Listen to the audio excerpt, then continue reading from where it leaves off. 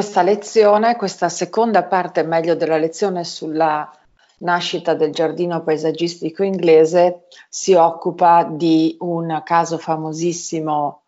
eh, di Ca- Lancelot Capability Brown e poi di alcuni esempi veronesi che sono entrati a tutto diritto nella storia del giardino, perché sono stati i primi esempi di eh, parco all'inglese eh, costruiti in Italia.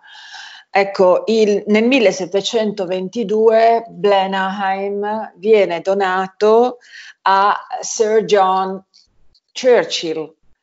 e viene fatto duca di Blenheim come dalla regina Anna d'Inghilterra come ringraziamento, come pagamento per la vittoria appunto di Blenheim durante la guerra di successione spagnola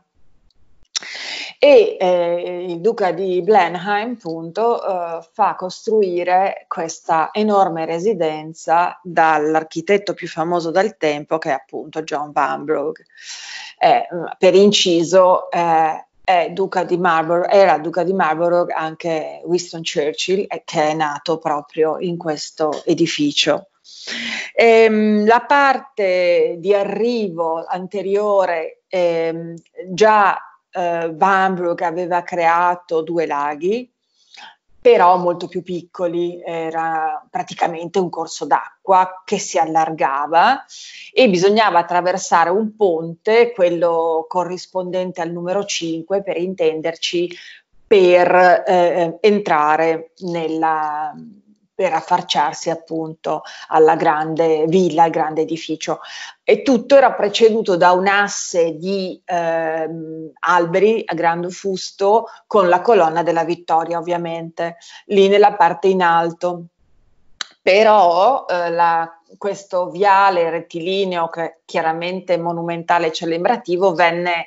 eh, abbattuto da Capability Brown proprio perché mh, cozzava contro l'idea di parco all'inglese, solo che nel 1905 eh, uno dei duchi di Marlborough, il, il padre di, di, Sir Winston Churchill, fece, lo fece ricostruire.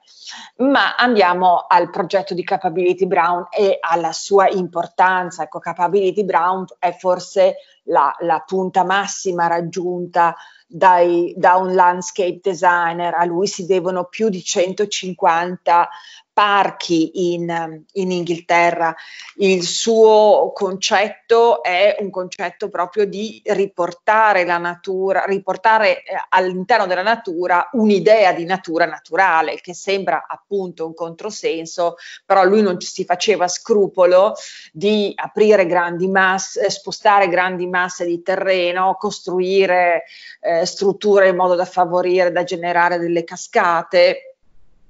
e creare grandi spazi eh, verdi, far arrivare il giardino, cioè l'erba, il tappeto, il grande tappeto d'erba che veniva costruito proprio eh, in maniera molto come si può dire, artificiale fin sotto eh, le, le, pareti dell'edificio, creare appunto come al solito grandi vedute e utilizzare varie specie arboree, anche esotiche, in modo da avere dei contrasti di colore. Ecco, qui vedete come la, eh, questi due grandi laghi ehm, generano proprio una, ehm, un ambiente in cui il palazzo di Vanbrugh appare proprio come una sorta di isola. Eh, dal, dal, paese Woodstock, che vedete là in alto, c'è una delle più belle vedute del, del parco e della, e dell'edificio in cui si inquadra anche una parte del, eh,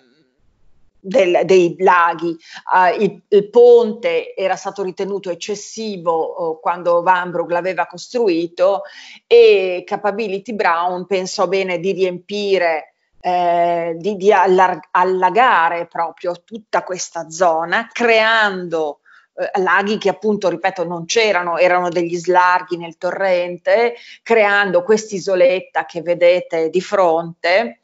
e uh, invadendo proprio anche gli argini e quindi vedete che nella strada, dalla strada di accesso eh, si ha questa veduta proprio di questo grande parco, di, grande, di queste grandi masse che si muovono, sono diverse, vedete ci sono dei pioppi cipressini, ci sono degli ontani, cioè sia alberi ad alto fusto svettanti, sia alberi invece con una massa più, eh, più sferica, insomma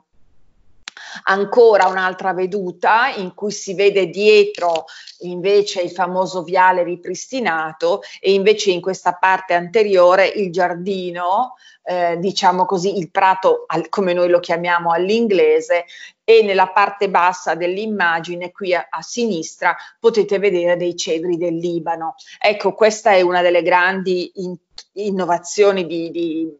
eh, di Capability Brown perché appunto introdusse eh, specie arboree non autoctone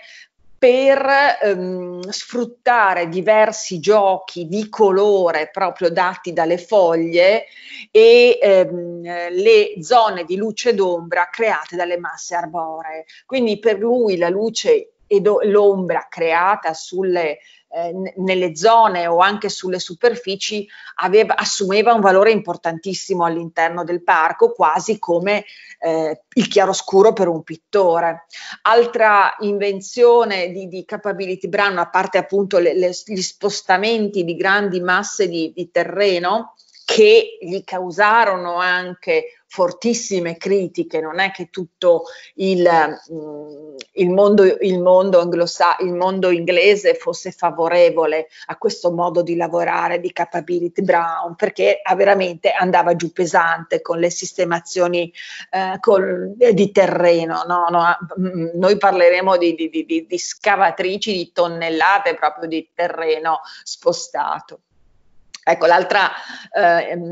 innovazione era quello dell'odore. Il parco di Capability Brown era anche un parco basato sui profumi che lui otteneva con speciali arbusti, quindi con eh, essenze arbustive profumate. Ovviamente eh, erano essenze arbustive che eh, non so, la plumbago o altre che potevano resistere o, o, o le lilia, alcuni tipi di, di, lilium che potevano resistere alle, alle, enormi piogge, non certo i nostri magari gelsomini o alcune essenze dal Mediterraneo.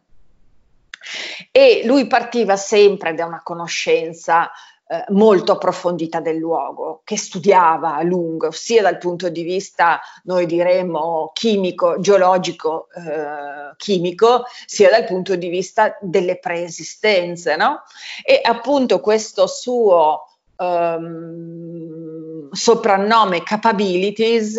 um, venne dal fatto, uh, capability, scusate, che si racconta che lui ai proprietari dei suoi, i proprietari che lo chiamavano a intervenire, dicevano che, diceva che il suo luogo avesse delle great capabilities, cioè delle grandi possibilità. Sì, sì, ci sono delle grandi possibilità. Ecco, l'altro aspetto, come vedete da questa immagine, è che in questi grandi parchi e giardini venivano inclusi anche fattorie, venivano inclusi ancora i tempietti, ancora i ponti alla, alla cinese, eh, grotte, rovine di castelli, eh, addirittura alcuni proprietari pagavano degli eremiti perché vivessero all'interno di queste grotte e rendessero ancora più verosimile questa uh, sceneggiata, mi viene da dire, dell'imitazione dei quadri, ehm, dei quadri di paesaggisti, dei paesaggisti francesi. Ecco, è questo un po' la, uh, il paradosso del parco all'inglese, che è una natura artificiale tanto quanto quella francese, perché anche qui c'è un intervento fortissimo, eh, qui addirittura si sposta, dicevo, eh, si spostano mm, metri cubi di terra, si creano colline, si creano laghi, cioè capite, si creano biosfere completamente diverse da quelle, da quelle, esistenti, introducendo poi le specie non autoctone ancora peggio, no? Però ehm, questa natura benché artificiale, deve avere l'aspetto della natura naturale, che è una natura naturale che non esiste perché deriva da un modello di un quadro. Quindi quello che noi adesso oggi vediamo come un parco che con questa natura ehm, libera che, che, sembra appunto consolare l'anima, anche che era un po' il, il mito di, di, Lancelot, di Lancelot Capability Brown, di, di, di appagare, e, e, dei filosofi inglesi, di appagare lo spirito di libertà dell'uomo, di fatto invece era quanto di più artefatto e artificiale potesse esistere. Ecco. Oltre, ehm, ehm, diciamo che mh, Cans- ehm, Lancelot Capability Brown è stato uno degli ultimi grandi no? eh, landscape inglesi. Dopo di lui eh, venne ehm, Repton, il quale a Capability Brown con mh, contestò alcuni aspetti, tra cui la mancanza di fiori. Ecco, se avete visto in questo, eh, in questo paesaggio non ci sono aiuole fiorite attorno alla, al grande edificio di Vanbrugh, la, proprio il prato arriva fin sotto l'edificio ci sono i famosi haha per proteggerlo dall'arrivo delle, degli animali, ma non ci sono fiori. Repton invece introdusse un giardino terrazzato vicino alla, all'edificio eh, che non è un giardino formale ma è un giardino di aiuole colorate con eh, essenze molto più semplici rispetto alle essenze utilizzate. Per esempio il bosso era odiato da molti in Inghilterra e, eh, e invece delle, delle essenze di, di, di fiori che erano più, eh, più rustici, ecco, dovevano sembrare più rustici. Comunque anche a Repton si devono numerosi giardini molto importanti. Ecco, questa è la cascata, anche questa sempre a Blenheim è sempre eh, artificiale. Anco, e anche qui vi faccio vedere, volevo mettervi, vi ho messo questa diapositiva per farvi vedere un cedro del Libano. Ecco, un cedro non è un'essenza autoctona chiaramente, ma è utilizzata per il suo colore. E infatti ha intanto è una perenne, quindi non perde le foglie e ha questo, questi colori particolari, questo verde salvia molto scuro, molto cupo che contrasta sia in primavera sia in estate con le foglie più giovani, magari dei pioppi, magari degli ontani. Ecco, capite cosa vuol dire giocare sul colore, ma giocare anche sulla forma degli alberi che, eh, come notate, danno delle masse completamente diverse. Ecco, questo vuol dire fare il landscape designer. Passiamo invece adesso ai casi veronesi che vi presento. Il primo è Villa Mosconi, ora Mosconi Bertani, a Novare, ehm, in Valpolicella, presso Arbizzano. I fratelli Mosconi acquistano la villa nel 1753, il progetto di Alessandro Cristofali è già iniziato, loro lo concludono e a partire dal 1759 eh, i due fratelli Giacomo e Guglielmo danno uh, l'avvio al progetto di questo giardino, ma collabora con le sue idee anche un letterato importantissimo che è Ippolito Pindemonte, che è un grande frequentatore del, di questa villa e del suo circolo di letterati e di intellettuali. Cosa introducono i due fratelli? Alle spalle della villa, mentre davanti a questa villa settecentesca c'è un piccolo giardino formale, dietro la villa si apre proprio un vero e proprio bosco, un, un bosco creato uh, ed è quello che vedete dove c'è scritto la parola le, laghetto e sopra, eh, Bosco che integrava ed integra le, eh, la produzione eh, delle, delle vi- la produzione, l'impianto, scusate, delle viti. Quindi un'idea di parco eh, fusa con l'agricoltura che è la traduzione di quel parco fuso con la, la presenza degli animali, delle mucche, delle pecore dell'ambiente inglese. Quindi i, i, i, Mosconi si fanno i primi, eh, sono tra i primissimi, a me risulta i primi ehm, attuatori in Italia di questa moda del parco mm, libero. Cosa fanno? In primo luogo creano un laghetto. Questa fonte è una fonte interessantissima perché eh, questa risorgiva è quella che riforniva Verona durante l'epoca romana attraverso quell'acquedotto che si vede del, dalla, dal sottopassaggio che vediamo quando si entra a Parona. Se fate caso, entrando verso Parona, sulla destra, dove c'è la galleria, c'è una, una, una epigrafe in cui si cita un acquedotto romano. Ecco, le acque di quell'acquedotto che arrivavano fino a Verona sono le acque di questa risorgiva. E qui viene creata una, una casetta, vedete, di stile nordico però, non di stile nordico francese, non di stile eh, cinese come in, eh, nel caso di, di, di, dei giardini di William Kent. Perché? Perché appunto Ippolito Pindemonte aveva viaggiato molto, pur essendo un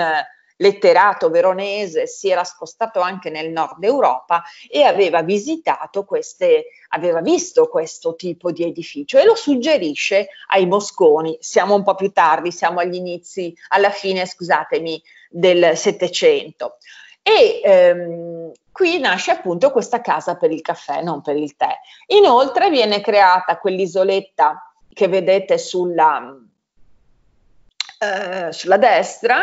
e il luogo viene arredato, potremmo dire così, con delle specie esotiche, eh, tra cui dei taxodium e poi altre specie autoctone. Ehm,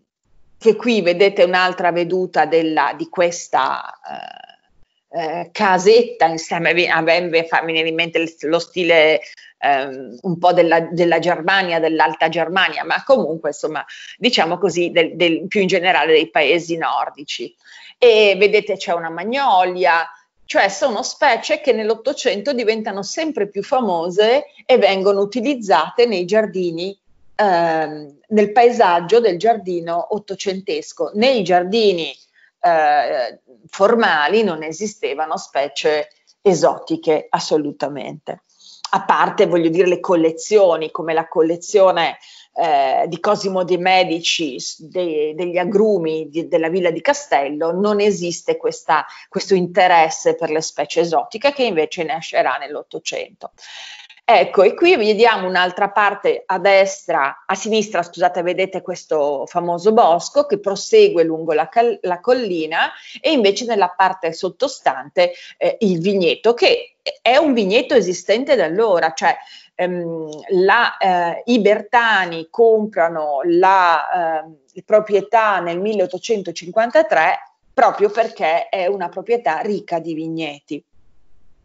Ancora, eh, qui c'è un viale eh, di ipocastani, eh, la, mm, vedete come si mescola eh, la massa arborea con il vigneto e poi sullo sfondo ancora la questione delle masse arboree e qui vediamo un testo importantissimo perché eh, non ho trovato la prima edizione, questa che vedete invece è una seconda edizione ehm, edita a Verona nel 1818 insieme a un altro saggio, ma è il famoso saggio sui giardini inglesi e sul merito in ciò dell'Italia, dissertazione di Ippolito Pindemonte, che eh, fu una conferenza che lui tenne all'Accademia di Scienze, Lettere e Arti di Padova nel 1792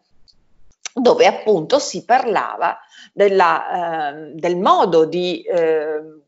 costruire, di progettare e di realizzare un giardino all'inglese. In una di queste, eh, tra, in una di queste, una di queste affermazioni eh, di Ippolito Pindemonte in questo testo asserisce che è eh, ancora più eh, ben voluto, ben accetto, non lo so, favorito la presenza delle rovine. No, avevamo visto la rovina, eravamo partiti dalla rovina del dipinto di Poussin su Apollo e arriviamo e ritorniamo al concetto di rovina.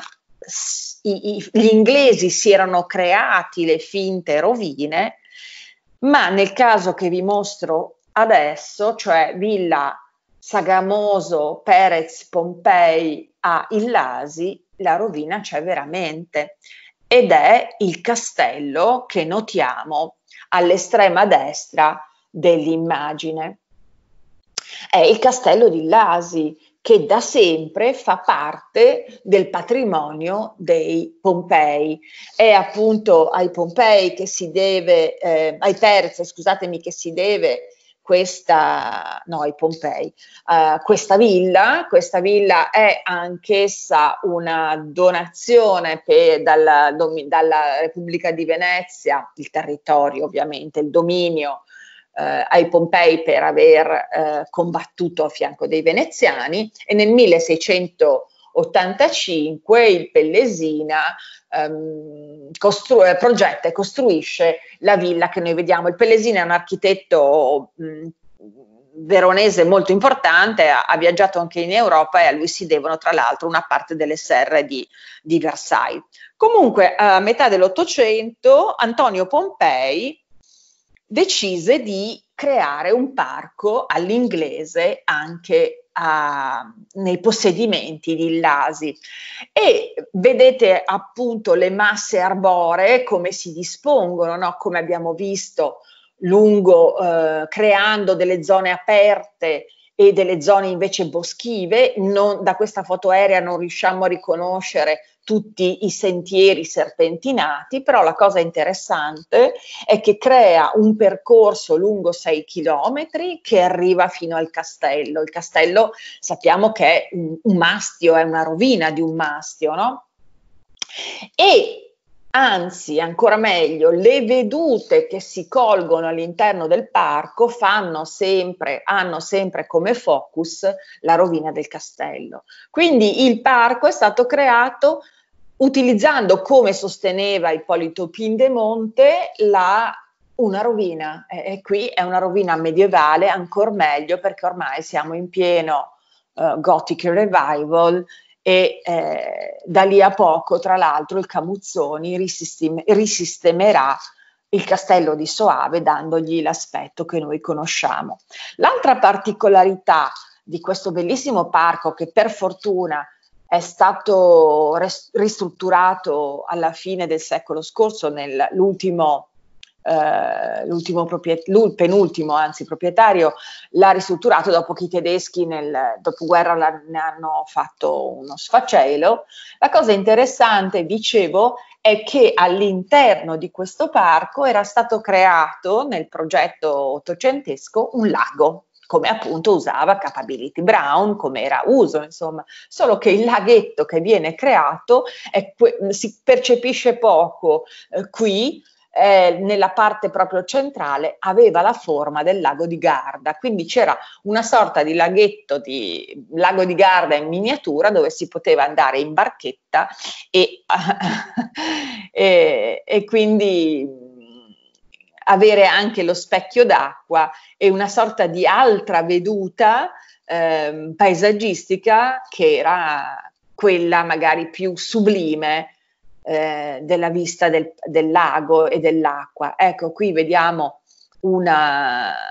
veduta autunnale in cui riconosciamo la massa arborea e poi tutto il prato libero, creando questo slargo e questa veduta e poi eccola qui la veduta del castello di Lasi, del Mastio e della Torre. Ecco, la cosa interessante è che qui viene lasciato il giardino